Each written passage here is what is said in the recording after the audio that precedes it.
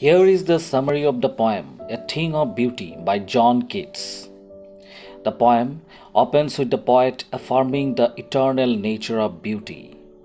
According to him, beauty only increases with time and never fades away.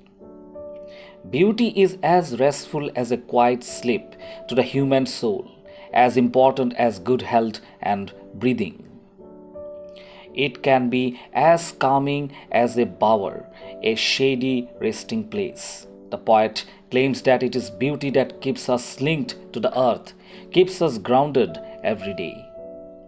It makes us forget our sadness and keeps us happy and hopeful. The poet represents beauty as a defense against the despair that is so common in the world.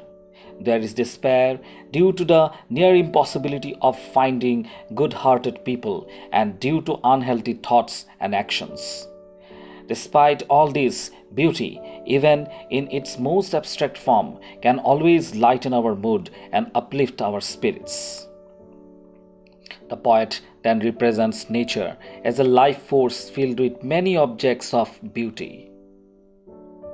From the sun and the moon to small streams, from dainty flowers to mighty trees that provide shade for everyone, all are a source of great comfort and energy.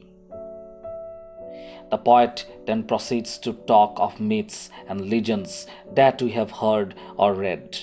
The glorious fates and the deaths of the heroes in these tales are also presented as objects of beauty.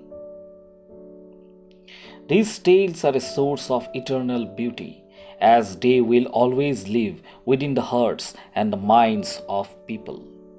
Thus, beauty is like an endless fountain and a blessing from a higher power that constantly rejuvenates and motivates us all.